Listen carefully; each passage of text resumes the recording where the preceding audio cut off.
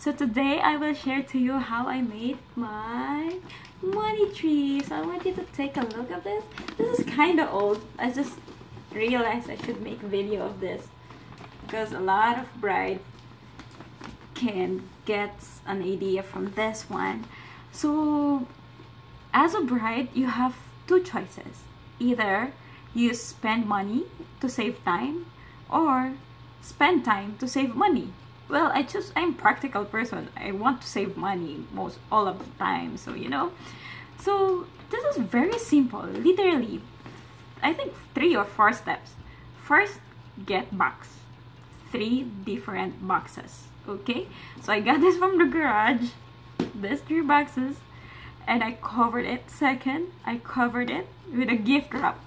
I actually forgot where did I get the gift wrap from, but you can say this is like a stripe, uh, pastel blue, light blue.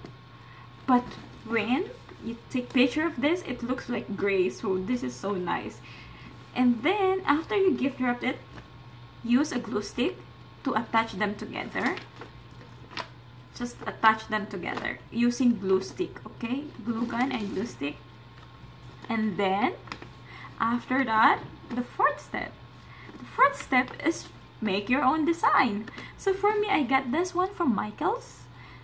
This is very useful to me. I use this on my boutonniere. I use this on my wedding bouquets.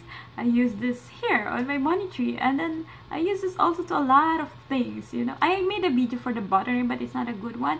But I think you can still have an idea on how, how I made this. Because, you know, I was not planning to make really a vlog regarding to this one my main point right now is to share for you for the brides out there to have an idea okay? So I wasn't able to take video of this while I'm doing this because I was too focused to do this. It took me like one to two hours to do this.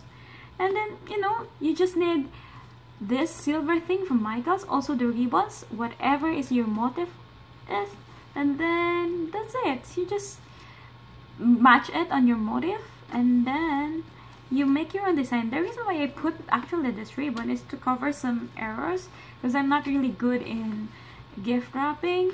So you know i just make use of this. This this is the one that make this elegant actually not the box not everything. And also the hole okay?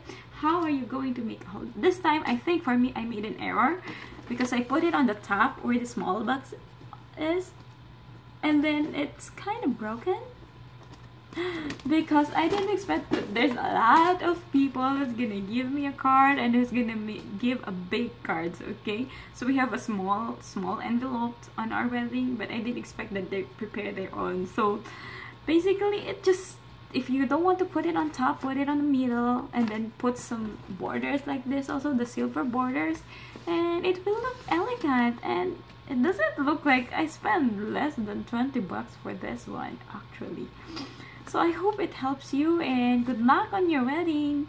Bye.